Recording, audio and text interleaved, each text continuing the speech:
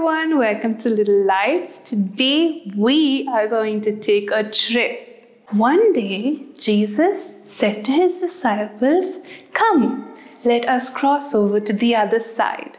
Sure, they said. They got on the boat and started to sail away. But soon the sky grew dark and the winds tossed the boat, um, shaking the boat side to side. The boat tilted in the storm. Wake up, Jesus, they cried. We're going to drown. But Jesus lay there fast asleep. Master, there's a terrible storm. We'll never reach the other side, said the disciple. We'll drown, said another disciple. Jesus looked at their terrified faces and then he got up.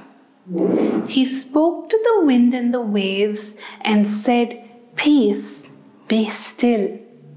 Immediately, the waves and the winds just flattened out. What happened here?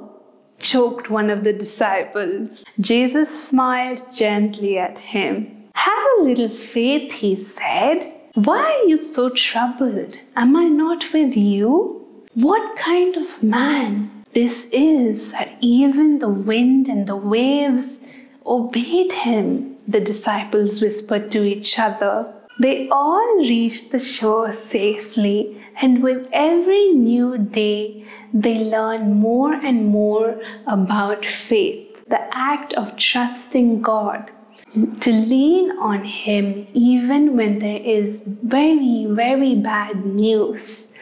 Faith shows us what God can do. Thank you so much, everyone, for joining us today on Little Lights. Pray that we have faith every day to trust God and to lean on Him.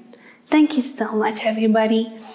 We'll see you next Sunday and always shine for Jesus.